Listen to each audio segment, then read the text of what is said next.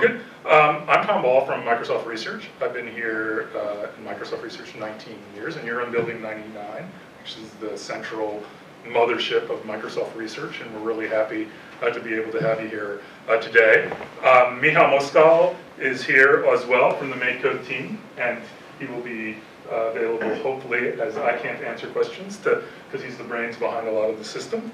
Uh, two years ago I was talking to you about the BBC Microbit. So the BBC in the 80s did something called the Micro. It was a Apple II-like computer in the 80s that a lot of uh, um, kids back then in the UK learned how to code on. And the BBC got together with then Acorn Computing, which then became ARM, I guess, made that. They wanted to do uh, a 21st century version of the micro, and they call it the microbit. So it's an embedded processor with an accelerometer and Bluetooth and sensors, and they wanted fifth graders to program it.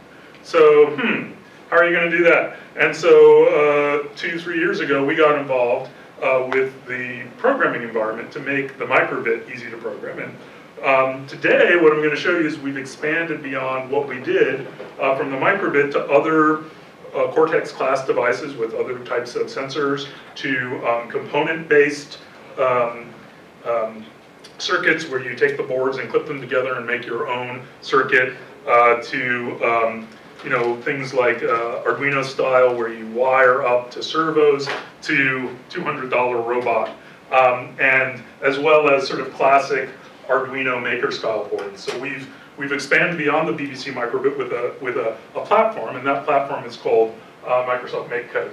And the mystery title is how we bridge the gap between uh, C++ and C and C++, which is the lingua franca for these boards, and sort of um, the web side, which is where we come from. So how do we bring the world of the web and JavaScript and TypeScript and all this together with the world of microcontrollers? So this this this microbit has been programmed already. If you press the A button, it makes an X. If you uh, press the B button, it makes a smiley. If you shake it, it clears. So you can just see uh, how that works. And this this will last for probably weeks on battery power, so it's quite efficient.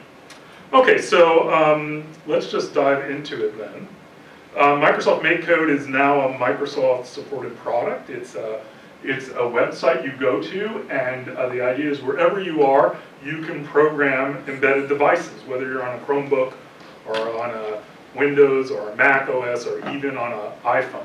And the idea is uh, um, not just to program games in a web browser, but to use the web browser and then create a project that uses an embedded a microcontroller that you're going to put into a robot or uh, a creation of yours to be created. So the idea of MakeCode is that you're going to be making in the sense of taking a computer and putting it into a project, and you're also going to be programming it. And people sometimes call that physical computing when they're talking about embedded computing for education. Um, we want to have a very simple on-ramp to coding, but also get to a real programming language, in our case, JavaScript. Uh, and we want a nice platform, so we want to support a diversity of devices, not just the microbit. Um, so those are, those are sort of the, uh, the goals. Um, some other objectives, why is Microsoft doing this? Well, we funded a lot of uh, efforts in computing. In computing, as you just heard, we need more computer scientists because there are all these jobs. Where are they going to come from? We need to get more people interested in learning about computers and learning about programming and learning about the concepts. So we want to increase the diversity in number of students who are interested. And one way to do that is to bring exciting sort of projects, uh, project-based learning uh, to the classroom. Um, we used to, you know, have this thing called Visual Basic 6, and a lot of people learned how to code, but times have moved, so, you know, we, we, are, we are trying to regain a seat at the, at the education table through efforts like uh, MakeCode. We also have something called TEALS, which is about pairing up uh, technologists with uh, APCS teachers in the classroom. So uh, we have a number of initiatives there.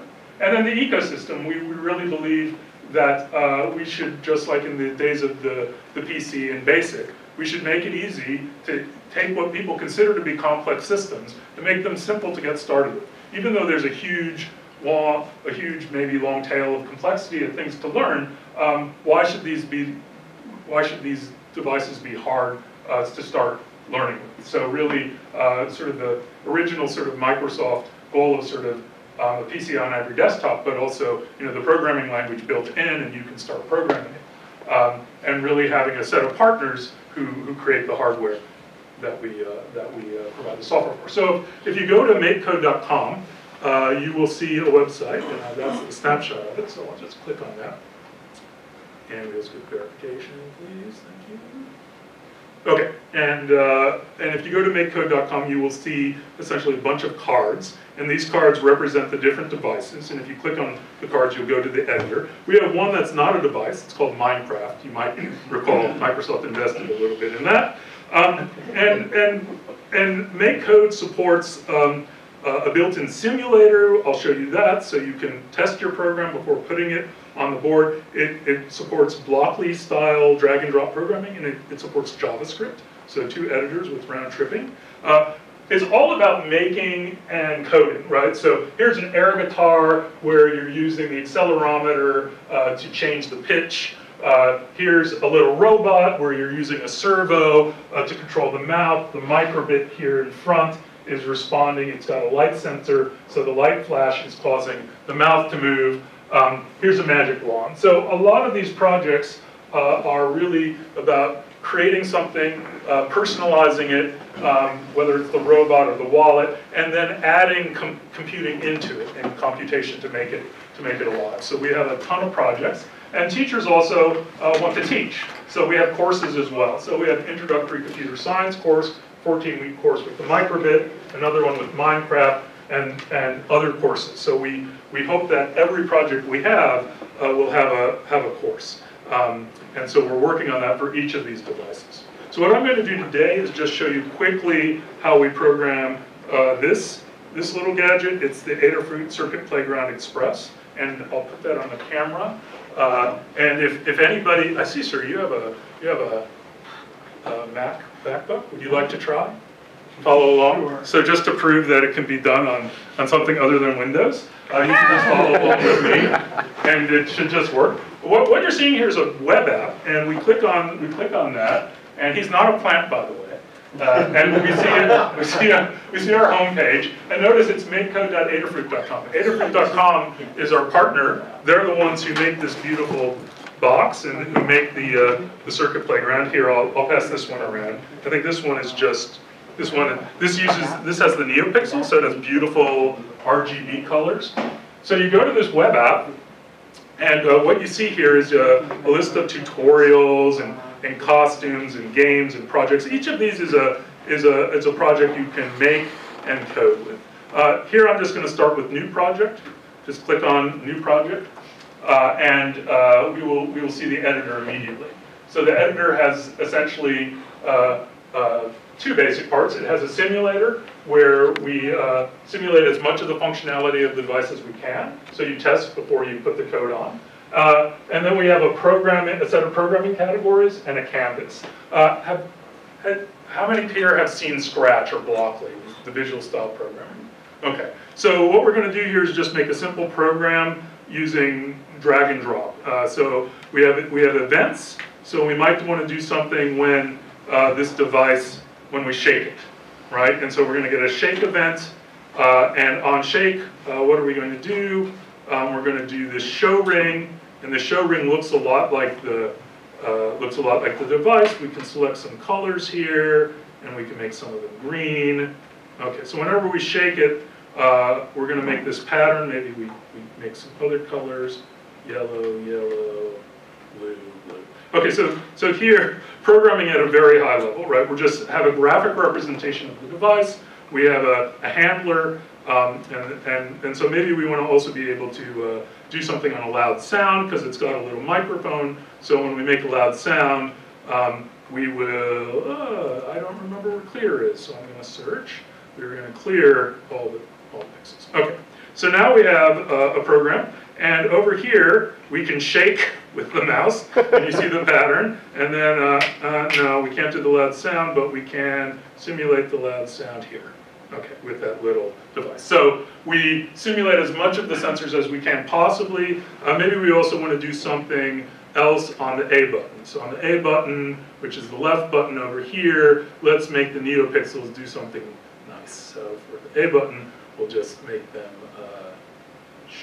There. Okay, so now uh, we've got this device. Um, how do we program it? We've got our program. If, if, you, um, if you plug this device into pretty much any computer that supports USB pen drives, then you will see here uh, that, um, at the, well, let me, let me actually make this one a bit smaller. And on the Mac, it will look different, of course. Apologies for that, but it's life. Um, yeah, if we go here and try to, this little-. Uh, if we go down, we will see, oh, there's a C-play boot. So that's a drive. So this little microcontroller presents itself as essentially um, a write-only drive where you can drag, well, read-only, that accepts only one type of file, the, the UF2 format that, it's sort of like a hex file, but more efficient.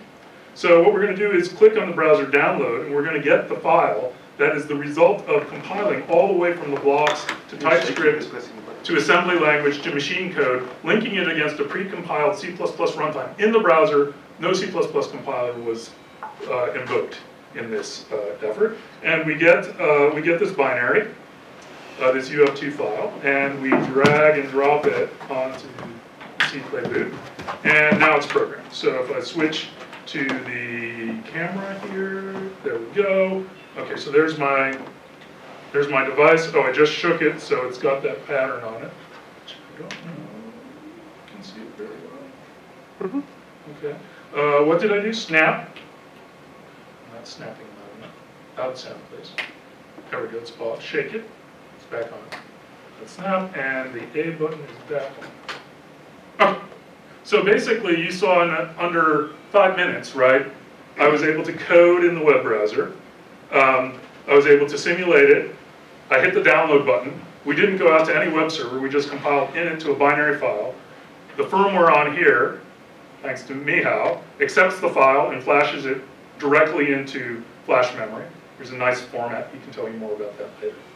Uh, and we, we can do more. So we want to go between blocks and JavaScript. Click on JavaScript.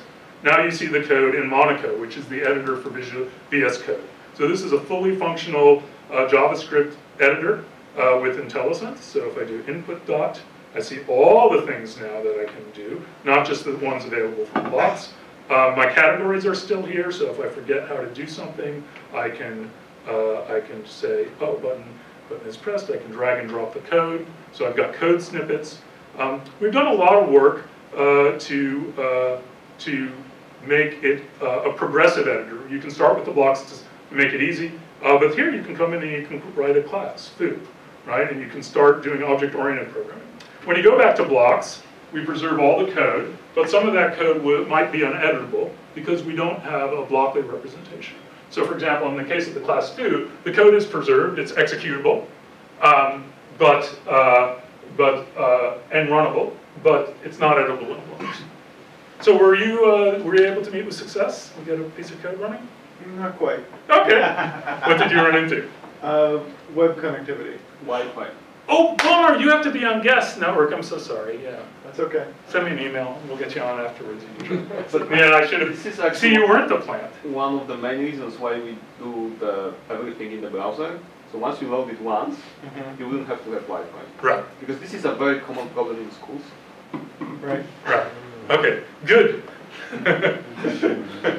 Okay, so, so this is, this is, these are the essentials. I'll go into a little bit more detail in the talk about how we make this all happen. We have a sharing facility, so if you want to publish your project and share it with others, you can get an anonymous URL. We store that in the cloud for you. And there's a lot more to say, but these are the essentials. We have two ways of coding. We have actually a simulator and the ability to compile in the browser. And we, we, we have a layered set of APIs. So you saw that we have these very high-level uh, blocks, like on-shake and show-ring. But if you want, you can go down to the pin level, just like an Arduino, right? And you can do digital write, analog read. You can, you can, pul- you can do PWM, right? So all the things you might be familiar with from Arduino-style programming are there in the advanced section. Uh, and even with the, uh, even with things like the, um, with the ring of lights, you know, you can, you can program at a high level, you can select animations, you can program your own animations directly. So we've done a lot of um, in, investing in the, uh, in the, devi- in the device APIs. Right, so Any questions so far? Yeah, Um, how is the microphone read?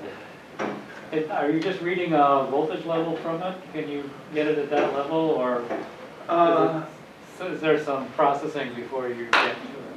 I, on this one, I think the microphone has a, uh, there is an external uh, analog digital converter, converter and the CPU is connected to it by I2S. So you can read the uh, voltage level on the, Mm, so you don't get to read the voltage level, you get the, you get the digital kind of stream of data. So you do get a digital stream of yes, data? on this Okay. one, yeah. On this particular microphone, so, but for example, the light sensor, you can go and read the voltage level. But we had then have like a higher level thing where you, I guess for light we don't read, but for temperature, you, we give you the degrees, right? Or you could go and read the, the digital level. Because I was wondering if you could do things like uh, encode to a FFT on your microphone. Is that possible? Oh, Sure, in principle, yes. Okay, so there's enough low-level access that you can do that. yeah, I mean, you can always go down to C++ and write your package in C++. Yeah, we'll, we'll, we'll show you how. It's, it's a very layered system. So this talk is really about bridging these two worlds. The world of the web, where you have plentiful RAM on the desktop or laptop, a web app, JavaScript with its single-threaded JavaScript, or as we prefer, TypeScript, which we'll talk about more. And then on the bottom, we have the world of the microcontroller. Uh, the, the microbit has 16K of RAM. Um, you, you're programming a full bare metal binary. You don't have an operating system under you or a web browser. It's, it's reactive and concurrent and generally C and C++ are the two worlds. So um, that's really the subject of this talk. It's about two languages in some sense. It's about how we bridge the gap between TypeScript and C++ to bring the world of the web browser and the world of the microcontroller unit together. And we do that through, surprise, surprise, languages, compilers, runtime, all the, all the, the stuff that, uh, that you know and and love and, and work with, with every day. So, so these are our main innovations. Uh, at the top, we have a web app for the end-to-end experience. You don't need to install uh, a tool chain for the end user. There's an in-browser compiler all the way from the blocks down to TypeScript to essentially uh, Cortex M0 uh, for now. Um, but other, other processors are available as well. Um, and, and linking against the precompiled C++ runtime, all in the browser. TypeScript, as you'll see, is our sort of core language. It's the glue between C++ and the Blockly, the visual programming. And in fact, um, we'll see in the talk how we go from C++ to TypeScript, how we sort of uh, take C++ and uh, annotate it in the comments to expose it to TypeScript into the world of the web, and then on the way back down, how we compile back uh, so that we're consistent with the C++ from which we derive the whole environment. Um, TypeScript is great because if you slim it down, it actually looks like uh, uh, uh, a modern Java or C Sharp. It's got classes and objects and things that make it easier to um, uh, interoperate with C++, sufficiently restricted. Um, and then at the bottom, we have a little operating system that was not done by us, by was done by our colleagues on the microbit from Lancaster University. Uh, and they created uh, a little runtime that has events and a message bus and coroutines, essentially uh, non-preemptive fibers, so we can do concurrent uh, tricks down at the runtime. Uh, and well, that's where a lot of the C++ is. So how many are familiar with TypeScript? Yeah, so you all know JavaScript, I assume. Uh, TypeScript is, is Microsoft's uh, way to add typing to JavaScript gradually. It means you can take any JavaScript program, and it's a TypeScript program, but you can start to sprinkle types in. And the reason for putting types in is essentially to get the better productivity for large-scale projects. If you have namespaces and types classes and all these things, uh, enable productivity. So it's not about really, um, like in C++, uh, getting efficient code out. Uh, I mean, we are using it to do that, but, uh, but, but it's really led the way. In fact, JavaScript, ECMA 6 uh, script, 6, has taken a lot of ideas from TypeScript and putting, or putting them into JavaScript. So in some sense, you can think of this as a JavaScript with, with these types you can add and much better type checking and type inference. Uh, and that's an effort uh, that is uh, led by Anders Hejlsberg, who created many, many languages, including C sharp. So he's the, he's the lead on that. And that's sort of the core of our, uh, that's the core of what we uh, use. So when you saw in the, in the web app, you saw these categories uh, for the blocks, um, and then the different blocks. Each one of those categories really corresponds to a namespace in TypeScript. So there's a one-to-one correspondence when you're editing between what's happening on the block side and what you can do on the TypeScript side. In general, TypeScript, uh, for the device runtime, we offer more functions and we offer fewer, we offer a subset of those functions. So as you go from Blockly to TypeScript, you have the same uh, set of uh, categories. Categories in Blockly translate into namespaces. Those namespaces are manifest in the text. Um, how does that all come about? So in the microbit, um, we wrote this C++ uh, to show a number on the microbit screen. Okay, and there's show number at the bottom, uh, which ha- takes a value to show, and uh, um, a timing interval, a, a, a optional parameter. And then we have these special comments, and these comments say, this C++ should be exposed to MakeCode. We want this to be visible in the runtime binary. There's going to be a lot of C++ that's not going to be, we can expose more and more, but we put these annotations in, and it's also in a, a namespace, and that namespace is annotated. So this means that in the microbit, we're going to have a namespace, and we're going to have this function available, and it's going to be available as a block. Um, and so we're saying export the C++ function all the way to the top, all the way to Blockly. Along the way, we'll also get TypeScript.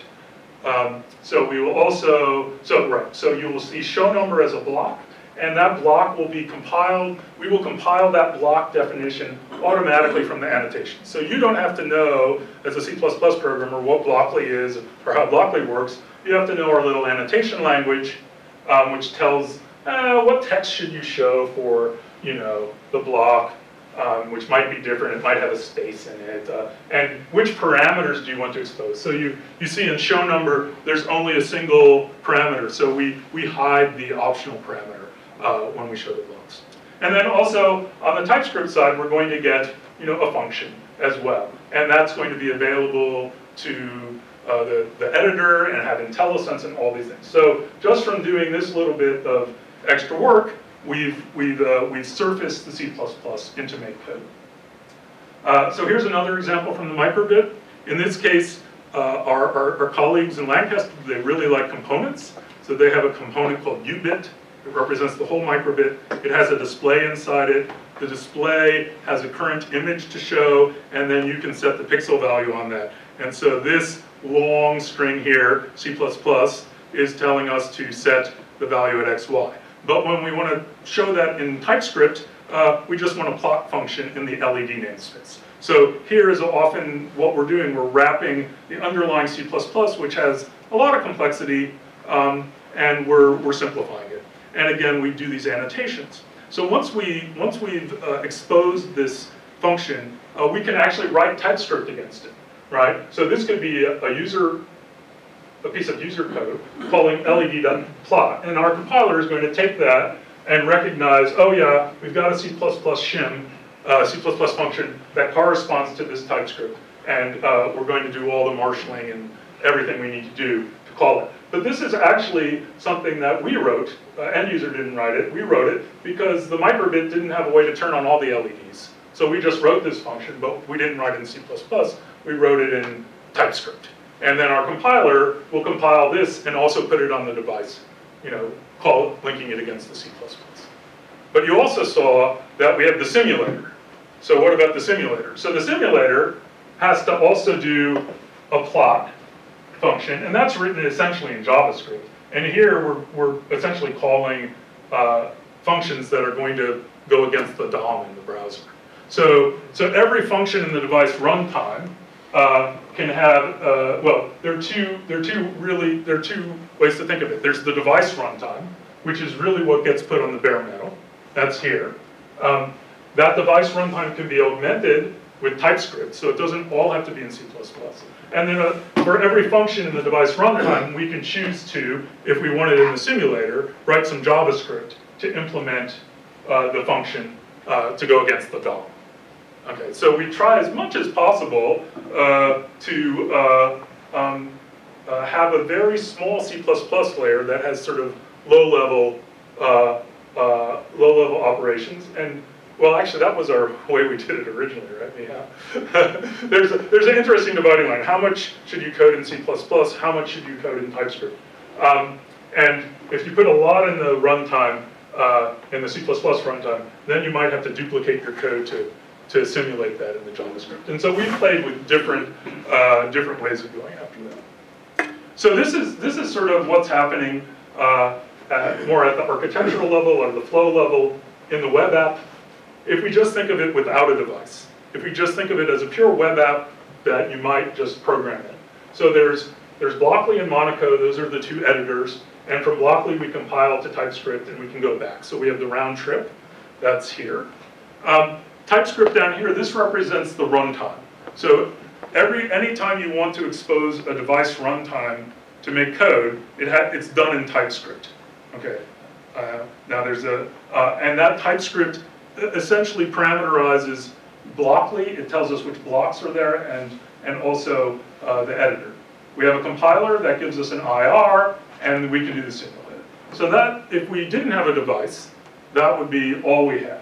But you know what I've shown you is that our notion of a device runtime includes C++, and we have a way to annotate the C++ to get essentially a, a, a TypeScript version of the C++ interface, right? And from there, uh, we can compile back to C++. Uh, we can also uh, link against the runtime. So somebody's going to compile that C++ for us. We have a cloud service that does that, and generally this is done once in a, a very long time because we don't change the C++ a lot. This runtime binary is then cached in the web app. And then inside, what you saw when I pressed the download button was we compile the user code in TypeScript and the runtime in TypeScript into an IR. We lower it to assembly, we get a user binary, and we essentially patch and link it against the runtime binary. And then when we get, as the result, we get the final binary.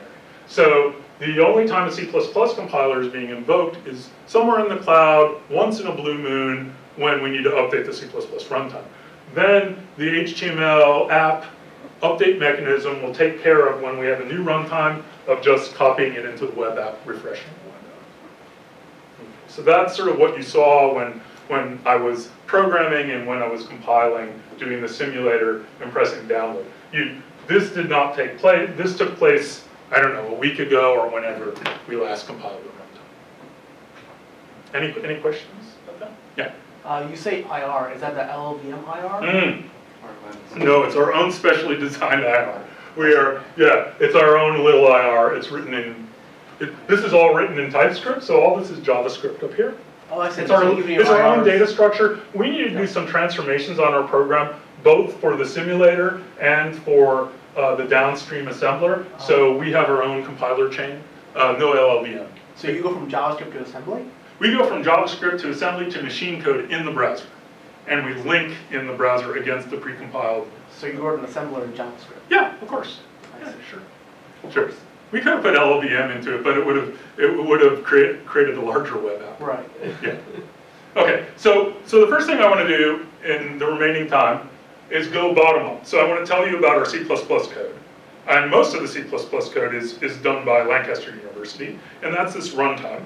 Uh, and then I want to show you sort of, after that, I'm going to show you what we call common packages. So many of these devices, you know, this has an accelerometer, this has an accelerometer, this has an accelerometer. We don't want to, we want to have the same programming approach to all accelerometers. Now, some accelerometer might have a cool feature, yeah, we can add a new block for that.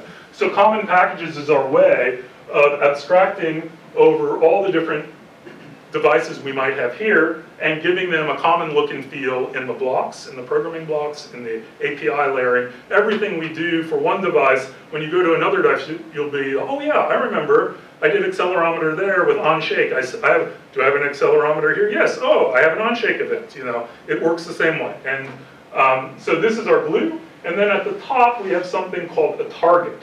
Uh, a target is the actual code that defines the entire web app for a particular device. So um, this is a low level going to the high level. And all this, by the way, is open source under MIT. Uh, the new Microsoft, we, we, we like open source a lot. And in fact, this, this is, this is open source from day zero, so we've been in out in the open. So this is, this is just a little diagram of what they did at Lancaster University. Um, we split things into repos. It sort of looks like inheritance, but it's done by uh, inheriting code from uh, GitHub repos. We have a base, a base uh, repo called Codal Core, which defines a set of abstractions, and then we have uh, other repos that specialize it for different processor types. And then we have essentially uh, particular boards. And it's actually more complex than that, but uh, all, all, all blame and uh, kudos go to Lancaster University for this structure. Uh, if you want to see more about it, the, uh, the whole build environment and build tools are here, um, and uh, all these slides will be available. So I just want to show you one of the, I just want to show you the accelerometer, just to give you an idea of Codal. We're not going to do much of the tour here. Um, so uh, Codal has, uh, um, it has, um, because we want to support JavaScript, it has some things like manage buffer and manage string and manage types.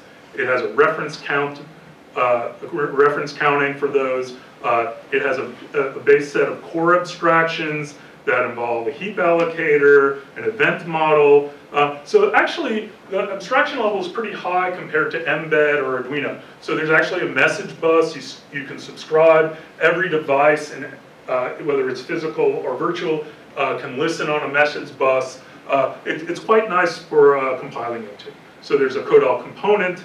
Uh, every uh, every um, every component of, the, of a, every part of a device should be a Codal component. Um, and, and so there's, there's a whole lot of work going on here that I'm not going to go into. But if we go to um, driver models, we will see, for example, accelerometer.h, right? And here uh, we will see um, essentially uh, class accelerometer, which is a public co- Codal component, and then uh, uh, essentially all, all the ways uh, we need to collect data around this uh, accelerometer to do some basic gesture recognition. So, so this is this is far from a very low level abstraction. It, it en- encapsulates a bunch of behavior to allow us to do very simple gestures, um, uh, and it's parameterized, so uh, maybe your coordinate system might change between different devices. Uh, there's been a lot of thought uh, that's gone into Codal.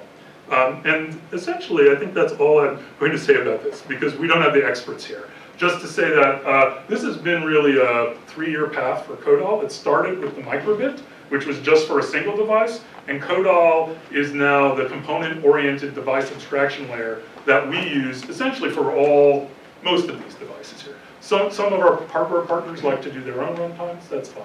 Um, but if you do Codal, uh, you get uh, you get a set of base, base abstractions that really help. You get the non-preemptive scheduler with fibers, so you get coroutines. You get a message bus with events, uh, and and that actually fits very well uh, with JavaScript in some sense. We, we JavaScript's a very event-based language, and so uh, Codal was really designed to help support scripting languages. Okay. So the next thing that happens is these common packages. So anybody, you could just program these devices using Codal in C++.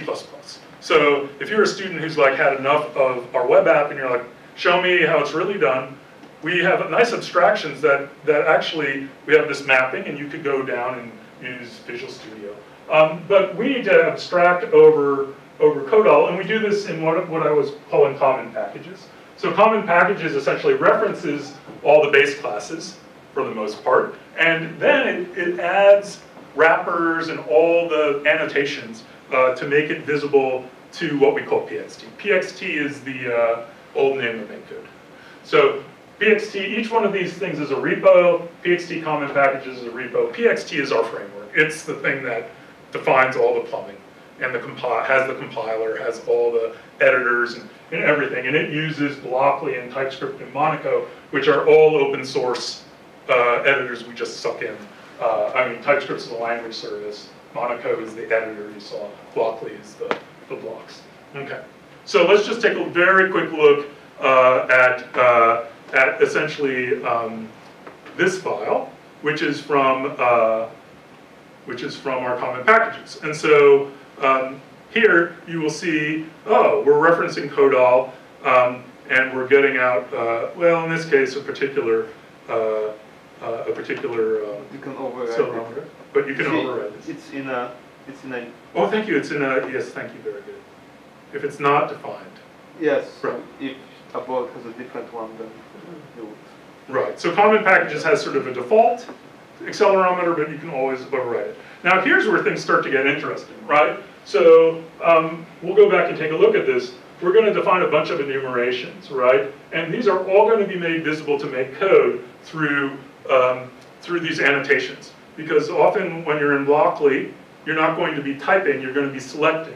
And so we need to be able to select X, Y, or Z if we're reading the accelerometer value at a, at a, in a particular, uh, uh, coordinate. Uh, we want to also, uh, talk about the accelerator, accelerator range, um, uh, and we want to talk about gestures. So each of these you see is an enum, which, uh, enum class, which is in C++, and then annotated to make it visible, uh, to, to MakeCode. And if we keep going, you'll see there's a lot there. We'll get down here, and finally we see namespace input. Ah, so in the input namespace, we are going to have something called on gesture. And that gesture takes one of the enums, and it takes something called an action, which is essentially a lambda, parameterless lambda. And this function uh, is going to be exposed to MakeCode using, using these annotations. So going back, uh, to my picture. I could also show this to you live as which might be easier. Okay, so all that code we just looked at, over here, what does it translate into? So that, that on gesture is going to be on percent name. There's a whole issue of how that gets populated, but that's a parameter because we can have, we can have different, um, we can have different handlers for different types of gestures. Uh, so we're gonna get on shake and actually see it's a pull down, so that's a parameter, which is not a runtime parameter. It's a compile time, right? Uh, and then when we click there, we're going to get a box to select from, uh, and we have to select one of these 11. And where do these names come from? They come from the enum. So all this happens for you behind the scene. With that little annotation, we are going to generate the block for you. We're also going to generate this field editor. Well, actually, you had to tell, tell us that you wanted a field editor. But all this means is that this, this block, it's really easy to code with touch. So this whole Blockly interface uh, is tuned for touch. So you're getting a lot. Uh, and uh, this is all part of common packages. So when you're when you're coding, when you're using an accelerometer from a MakeCode device that's based on common packages, uh, you're going to have that same experience with with on shake. Now, maybe some of these, like 3G, 6G, maybe your particular accelerometer might not have certain options. So, questions about that? All right. Okay, so that's sort of common packages gluing or representing the C++ to MakeCode. Then finally, we have to, we actually have to get a target. So like the editor I showed you for the particular device, because up to this point, I've just shown you sort of bottom up. So finally, we're going to get, you know, a PXT target. It's going to actually reference the Codal build shell and say, I need you to build me the binary for all this C++. And uh, this PXT target is going to make use of common packages as well, which includes some C++. Um, all that C++ is going to get munched together in a, in a build system, which I can't even begin to describe to you how it works. It's, let's say non-standard is the best way to talk about how that works right now. But we're going to get a bunch of C++ and compile, uh, compile and get a binary. I'll, I'll, tell you about that. And in the end, we're going to get a web app uh, that we can then host in a, in, in a number of ways. Uh, so for example, oh yeah, so, okay, so, so let me talk about a little bit about this process of how we're compiling all that C++. There's a pre-processing of the C++, which is determining which C++ entities are going to be visible and exported via what's called a TypeScript declaration file. I'll show you that. So that's the processing of all these annotations, these funny comments I showed you, right?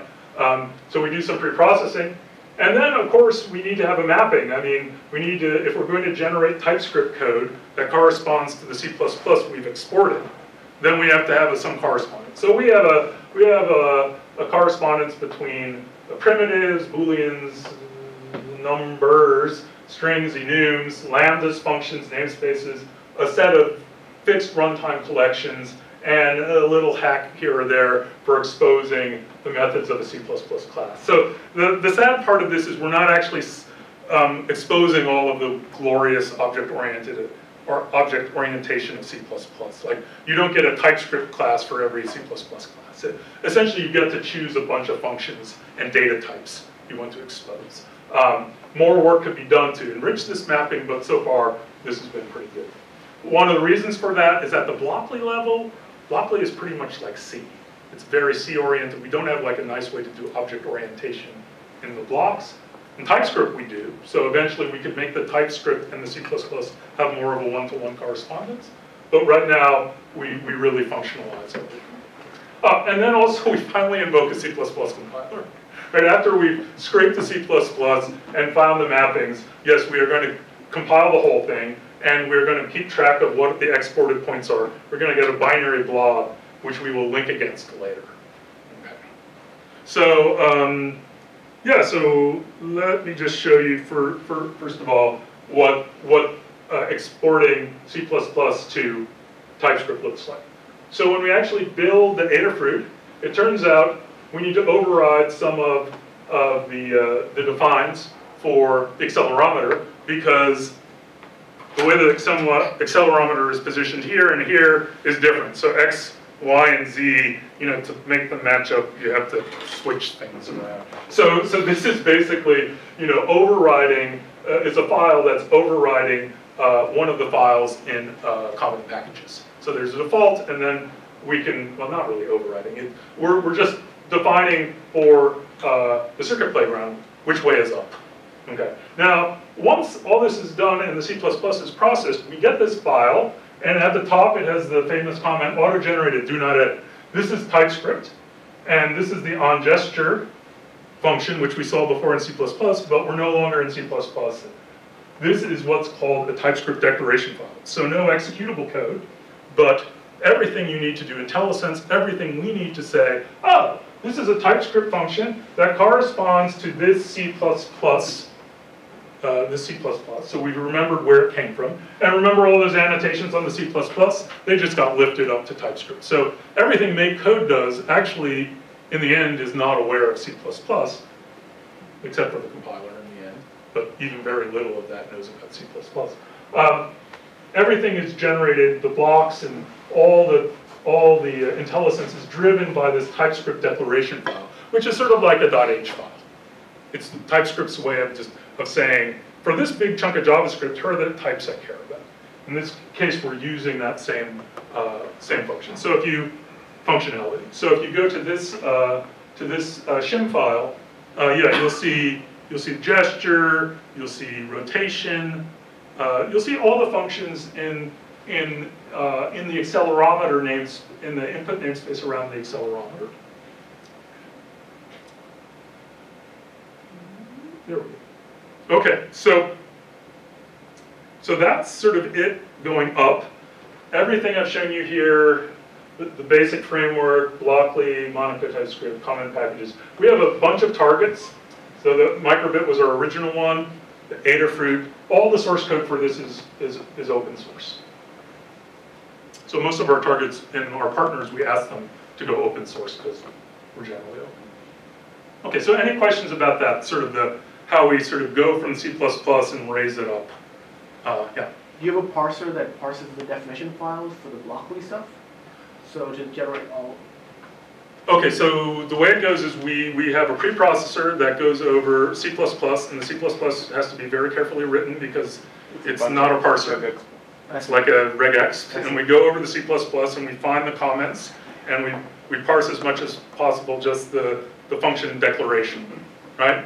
We generate, we generate this file, okay? TypeScript can take this file and read it in. right, Okay, now, we, we then uh, take the TypeScript AST, we look for these comments, and then from this, we have a Blockly compiler, which generates all the XML and all the things Blockly needs to know to make the blocks, right? So, so fundamentally, um, you do not, unless you really know Blockly and want to do something that we're not supporting, you don't have to do Blockly. Gotcha. But the Blockly code is there, and if you need to go in and do some mutation and all the garbage they support for hooking dynamically, you're free to do that. But for sort of the common case, we hope if you use common packages, and, and, or if you want to define your own block, we have a set essentially of, of little attributes that should cover eighty percent of what most people want. And also most of those things are optional. So like for example, the first one, it tells you where the help is for that particular one, right? So I have no help. And the second one is, uh, uh, I think the only thing that you have to say is block, and then Yeah. you come up with some block ID and you kind of come up with some sort of block shape that you may or may not be happy, happy with. Yeah, so this is actually, you know, these are actually a lot of annotations because we are providing, because we've done a lot of work to make that block really nice. Right. But um, to get started, you only actually need slash slash percent block. Okay. You just need one line. So, yeah. Are the regexes that you mentioned readily accessible in case the TypeScript that's generated doesn't match what we would, what we would expect? Uh, the regexes, man. You, you, so you, okay, we have a scanner for the C++. When I was talking about the regular expressions, yeah, it's readily available inside the PXT repo. I mean, Okay. it's not configured. Okay, You- If, if you, if you were like, ugh, you know, you're not handling this C++ idiom correctly, hmm, you can always send us a pull request. Yeah, that, that part, there's a lot of the compiler that's, yeah, baked in and, and not highly configured. I noticed that you're using Doxygen like uh, comment, commentary in the, Oh. at several different levels. Are, is, Yes. is, is that documentation le- level part of, part of the system? Or Yes. is this sort of No, very good. for Doxygen? No, no, no, very good. No, no, we are using this in the web app. So if we go back to Adafruit and we look at my program Untitled, um, and we hover over the on shake, do something when a gesture is done, like shaking the board. That came from the comment, I'm pretty sure. Uh, it also comes in, in Monaco editor. yeah, so if we, if we go to Monaco, I think there you also get the parameters. Uh, so let's see, so we'll do on gesture. So you're just taking the, the, the notation that was, that was, Already available. originally came from, from JavaDoc. Yeah, and, and TypeScript is basically used that as a standard, and we just, we just use that. Yeah. More questions? Okay, so, uh, the last part then is on the way back down. Okay, so now we've, we've shown you sort of how we get the C++ annotated. From that annotation, we get these TypeScript declaration files. Magic happens and we get the blocks. And now somebody presses download. Okay, oh, and we also have this binary file, the runtime. Um, oh, and I forgot to show you one important part. So let's do that. So here's when I compiled, uh, when I compiled Adafruit uh, earlier today. I got this nice, uh, I got this nice file called pointers.cpp, which essentially has all, all the namespaces and everything that's available to our compiler uh, for internal use as well as the public-facing API. So it has a bunch of uh, uh, types here which are known to the compiler. Um, it has uh, different namespaces for language support, uh, for doing uh, what you might notice seem very close to assembly language instructions, uh, for doing some math, for doing things with collections, anything where you can imagine, hey, I want to go from uh, scripting language down to C++, uh, you'll find it in here. This is like the complete definition of all the things we need, the compiler needs. But then at the bottom, and this is all sort of boilerplate, uh, but then at the bottom, we're going to see a nice, a nice shims begin. So this is where we're going to have all these function pointers, uh, and these are the exports, essentially. So this is, so this includes a bunch of things from PXT, which need to be exported from the binary. That's sort of our runtime. And then down here, if I just do, if I search for on gesture, yeah, somewhere there is the C++ input on gesture, right? And we're gonna have a function pointer for that guy, right? So we're gonna get, this is essentially our export table, right? We know the order that things went in there, That's in, that's someplace else. And, uh, and that's essentially, that's essentially, um, you know, the result. Uh, I mean, we get a hex file, we get an actual binary in the end. Um, but you can see here, I, I have, uh, you know, I have some TypeScript I can code against that. I have my pointers, uh, I have, uh, I have on gesture, and then I, I, I actually have the value for that. Okay, so now going back down, this is going to be much shorter. Um, so the first thing to say is uh, we have this very low memory device. We are not going to run a JavaScript VM on. So we cannot possibly take all of TypeScript because all of TypeScript includes all of JavaScript. So what we have done is we've defined something called static TypeScript, which essentially uh, is what the user is really programming against, but they don't know it because of type inference. Because everything in our API and our runtime is fully typed. You just say let x equal accelerometer value, it's going to be a number because we know what the accelerometer value is, in So static TypeScript, the considerations are we need to compile the user code plus the runtime code we've written in static TypeScript to a low memory footprint. We want to link it against a precompiled C++ runtime, so we want that to be simpler than it might be with JavaScript.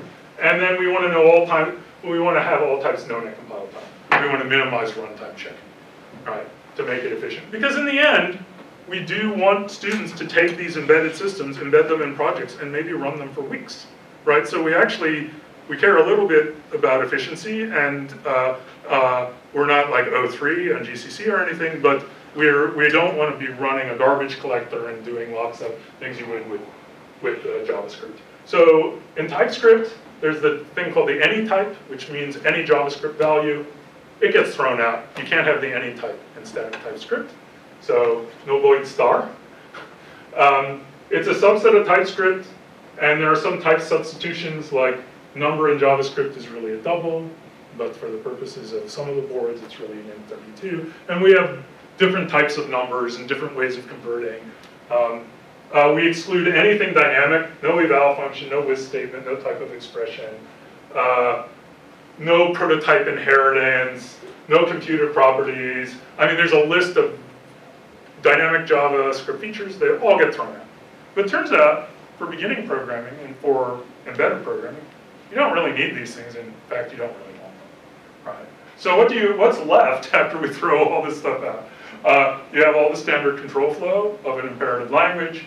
You have let's at least go variable declarations. You have nested functions, take that C, right? And you have lambdas, you can pass lambdas. We have closures.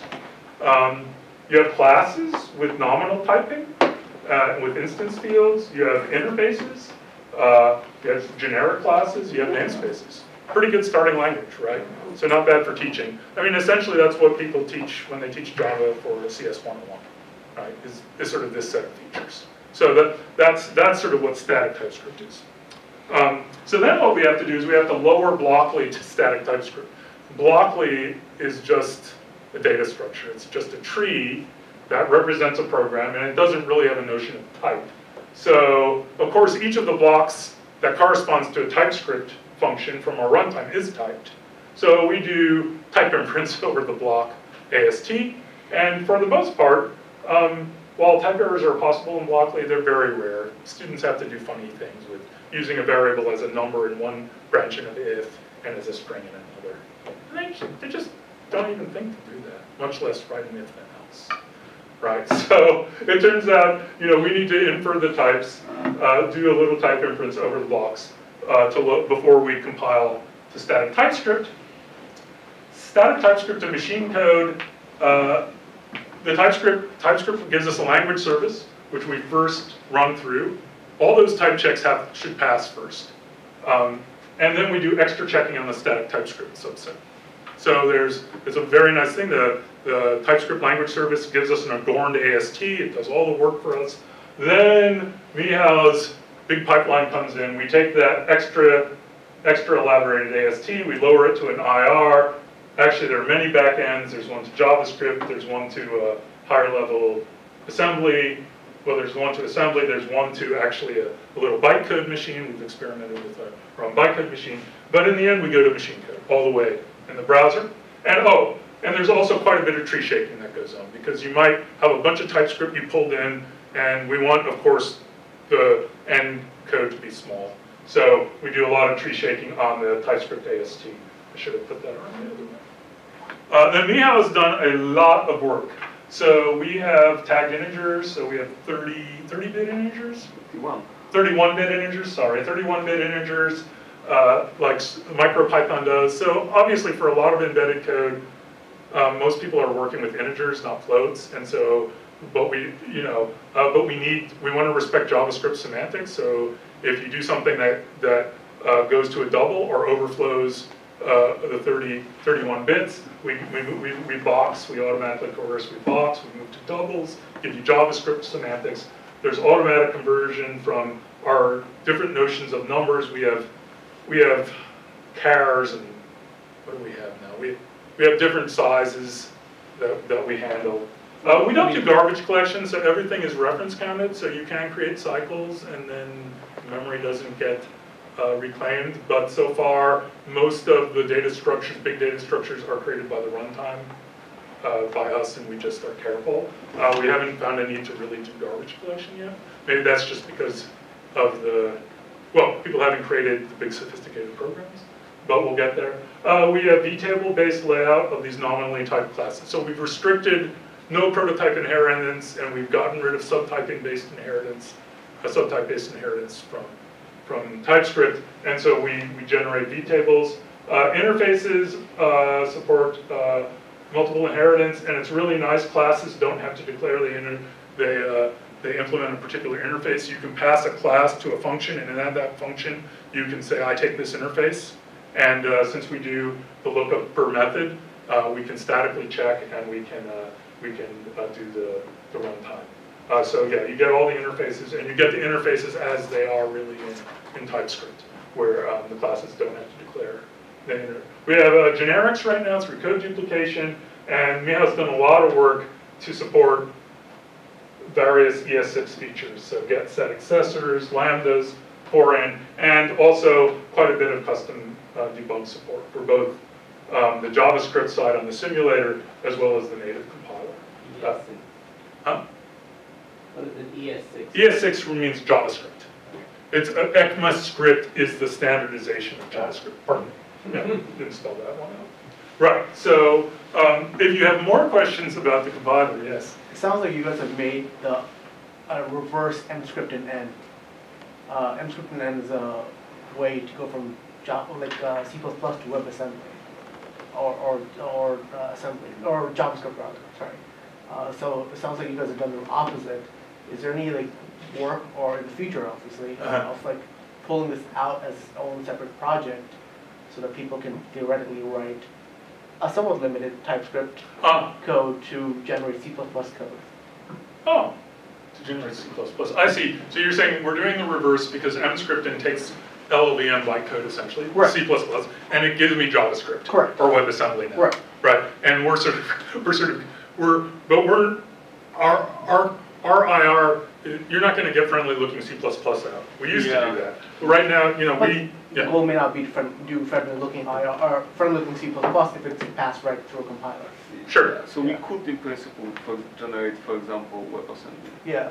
yes. and then you can pass it to LLVM or whatever to get whatever you Right. to the other side. We could do that. I think there are some assumptions about 32-bit architecture, Right, sure. well, or less actually, for AVR. But anyway, Yeah, so um, that's essentially the talk. I do have maybe a little more time, so maybe you want to do a few more demos to show you some of the other devices, if that's okay? Okay, cool.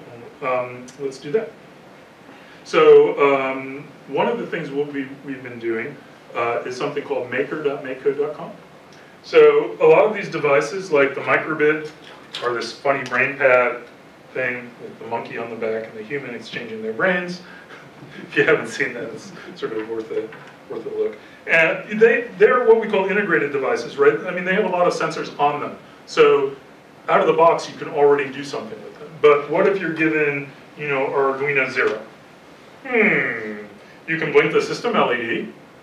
That's always good. Blinky's a good start. But but once you've done that, you need to start to wire to the headers, right? And so there's an inherent, you know, complexity. I mean, we don't think of it as complex, but uh, some students and teachers might look at that and go, "Gosh, uh, I know what to do with the microbit, what do I do with this thing?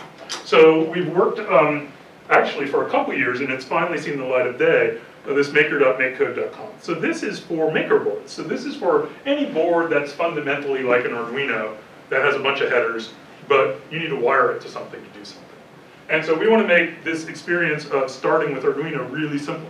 Uh, so let's choose, uh, I don't know, uh, the feather and make a new project. Okay, so the editor is going to look pretty familiar to you. Um, we're going to have a simulator on the left-hand side. And this, this has, let's see, do I have that board here? Yes. Is it this one? No, it's, uh, I don't know which one, No, I'm not sure. Exactly. It is this. Oh, it is this one, but with, does it have the? Oh, yeah, it's over there. We don't support that part of the chip. So that's this board. Oh. Okay, so what can we do with this board? Well, um, oh, this board actually has a pixel on it, so you could actually set the pixel color. Um, let's, let's say we want to do something on a button. So, well, we have this notion of a touch event on A0. So what happens if we click that? So we bring a handler out and we say, I want to do something when somebody presses a button. Oh! So we use the program and a set of basically predefined parts, not every part in the universe, but just a set of simple parts to say, oh, if you want to press a button and make something happen in the code, well, get yourself a breadboard, get yourself a button, here's the wiring. Okay, so now what do we want to do? Uh, we want to do some music. Okay, I want to play the power up sound. Okay, and it says, oh yeah, you're going to need a speaker. Right, so this is sort of interesting, right? We're, we're programming language people, so we always think about the program first. And then the hardware, you just get some defaults. Eh, if you want to do your own special device and you're, no, I don't want that speaker, I want, you know, I need a, anyway, you're going to be doing something different. But, but say you're a kid or a teacher who's got an Arduino style board and you want to get started. We're going to show you, uh, you can program, and then we'll show you what the wiring should look like, right? And it, it's, it's also simulated, so we can go here, and we can click that, and if I had my sound on. Sorry about that. So, so basically, you know, our simulator handles, has an extension for breadboarding, and we have a notion for every one of these maker boards about the pinouts, right? And we have a pin map, and we have a set of components, hardware components that are tied to particular APIs. So for example here, if we go to pins and we say, oh yeah, I want to, uh, I want to do an analog, a digital write. Okay, what do you think is going to happen? I don't know. Uh, it's going to put in a resistor and an LED. That's what we chose. So, so basically, if you want to do a digital write and blink, you're going to blink an LED because that's that's the part we associated with digital write. Mhm. So for getting started, this is great. You can also do uh, you can also do servos. So if you go down here and say, you know, servo write pin to 180, it's starting to get crowded, but there's the servo, right? And then uh, let's do another input. Let's say on input, uh, touch A1. Okay, yet another button appears, and on that, I'm gonna do the same servo at the same place. I'm gonna write it to, I don't know, 90 degrees. Okay, then A and B, right? So, so, so fundamentally, we, our bread, breadboard can expand to a certain limit, and that's probably the limit of what I can do now. But now let's say, okay, I want to, I want to make this crazy project. So what you do is you click on open assembly instructions. And what we do is we generate an IKEA style, an IKEA style step-by-step instruction. And you might go, that's ridiculous. But teachers really like printouts. So like, once you have that, once you have that thing, you can go to town, uh, and you can go actually to town and buy the parts, right? So here it is. There's your construction, um, and as we go, let me see, where's my, that's not scrolling. The shopping list? Okay. This is embarrassing. Where's the next? It says it will be one page. Oh, wait, it said only one sheet of paper. That seems very wrong. Okay, well, maybe we have it, maybe we have it up there. Likely we have it. Let me try it once, let me try it once more. Oh, no, there it is. So it generates a parts list, right? It says, okay, first start with the board, that doesn't look good, and the breadboard. Okay, now you're gonna take this wire from here to there. Okay, yeah, so basically, we, our intern, who's now, um, he was an undergraduate when he did this. Uh, he's now, he's now part of the Azure Sphere team. But, but anyway, this is a, this has been an interesting experiment, and actually, uh, Adafruit's gotten really excited about it, because if you see here, they make all sorts of little boards, they love variety, variety is the spice of life, so they make this tiny little thing, what's that, the trinket? And this, this one, the Gemma, they like the round floor design. So they keep making these things, and we, and it's really simple for us to add them, because we just need to SVG, and we need to know where the pins are, and we need to know essentially the functionality of the pins. So this has been a really fun one. Uh, this has been a really fun one to do, because it expands to a long, a very long tail of, uh, of devices. Um, Any interest from Raspberry Pi? you know, we keep talking about that, like every couple months somebody says, yeah, what about Raspberry Pi? So, yeah, it's sort of, so we've experimented with Johnny 5, uh, which is like a way to talk to the Pi. You know, they've just got such a healthy ecosystem already with the OS on the thing and editors. And, uh, we just don't, I mean, people say, yeah, but there's like, who's actually going to do it? We're not going to do it because, I mean, we feel like we've got our sweet spot. And but yeah, every once in a while. Um, but no, we don't have a. So everyone's interested, no one's actually done the Yeah, exactly. Everybody says it's a good idea. Nobody wants to do the work. Right. Um, here, let me just go back to uh, to the. Uh, to Well, the I mean, the, it's just an ARM chip, and we can generate, I mean, we could generate code for ARM. Right, It would all work. right. Yeah, here's another one. This is an interesting one by Seeed. So this was a challenge for the simulator because instead of having a fixed device with a single SVG, you have you have these um, these devices that uh, chain together. And so we, we did quite a bit of work on the simulator here, but it follows the same general principle. Um, so for example, if I go here um, and say, okay, uh, I want to do some, something with an input, I get the button. Okay, there's, the button appears. So see, there's sort of a carousel here. And on that carousel, when I, when I run the code, I can click and make that the main simulator. So I get to ch choose which of the many different parts there are, and then I can interact. So th this one was a bit of a challenge. Um, for example, here, we might say, oh, on button A, we want to, I don't know, make a little, uh, I don't know what that is. Let's call it a snail. okay, uh, and so here, you know, I can click on the button and say A, and you see the snail appears down here, and if I click on that, it appears up here. So we, you know, the simulator has gone through, we have the breadboarding, we have this one, which is trying to uh, work with a set of chainable components. Um, so interest each one of these things, and then this thing's a robot that we actually don't write the full app for. It's not a web app. They have a they have a native app and they embed us as a web view. So we've also experimented with different ways of delivering MakeCode into different uh, into different uh, sort of scenarios. Um, so I think with that, since we're at an hour and 20, uh, probably is a, a good time uh, a good time to stop. But I'd like to thank you again, um, you know, for your attention and your time, and just you know leave you with that picture about uh, about all the work we did to bring these the world of the web app and the microcontroller together. So thanks.